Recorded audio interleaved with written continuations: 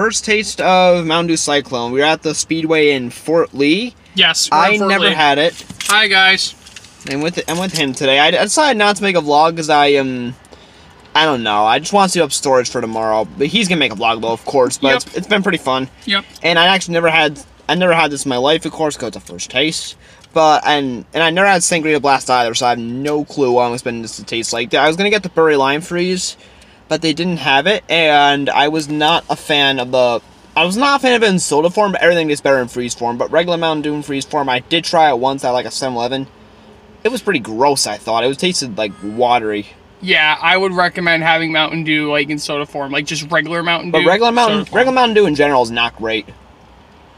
Code Red, I think maybe a different, maybe the same way too, because Code Red could easily get watered down if it has a lot of ice. So Yeah, it's what I got that in Fountain Form too, actually, but I decided not to get ice for the better. All right.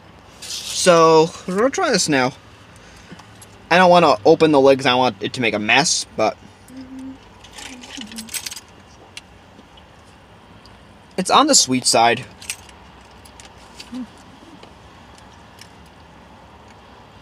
Don't know how I feel about this one. It has like a, I don't know, a sour bite, but that's, I don't really know what I Personally, think. I think it has a sour bite, and which I like. So if you don't want it, I'll have it if you want.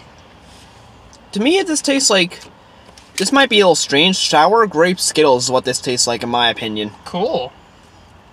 Which isn't it isn't bad, but I wouldn't I don't know if it's something I would have again. To me, it tastes similar to the Kickstart Kickstart Black Cherry, but just adding a sour kick. It's like a mixture of like This tastes nothing kinda- like it's Kickstart kinda- Black it's Cherry my kinda opinion. like it's kind of like a mixture of Code Red and uh and uh Kickstart Berry Lime. No, Kickstart. pff, My bad. I mean Black Kickstart. Kick, kick, kick. This in my opinion tastes nothing like Black Cherry. this in my opinion tastes nothing like Kickstart Black Cherry or Code Red, but that's just me. I don't hate it, but uh, would I recommend it? Not necessarily. I'm gonna say that this is.